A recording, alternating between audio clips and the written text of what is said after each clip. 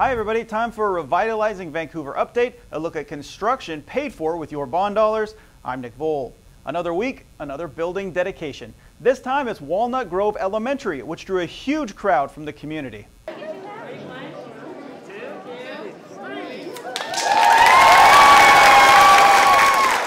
With a snip of the oversized novelty scissors, Walnut Grove is open for business.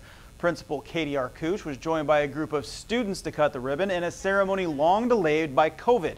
Families gathered on the learning stairs and they heard speeches from Superintendent Dr. Jeff Snell and School Board member Kathy Decker. For many, an event like this was a long time coming. It is amazing, and this is so cool because this is the first time our community has been able to come in and see. They weren't be, they weren't able to come in for conferences or open house, so I think there's just a lot of excitement about being able to see where their kids are learning and talking about and where they've been for the past couple of months. It's been it's just so great to see everybody. After the speeches, attendees were able to wander around, seeing for themselves how bond dollars will improve kids' education. Principal Arcouche recognizes it's only possible thanks to our community.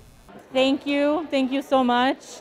This is amazing. The Walnut Grove before, there wasn't space for kids, and now we have space. We have cooperative learning spaces. We have just, um, just so much. It's, thank you so much.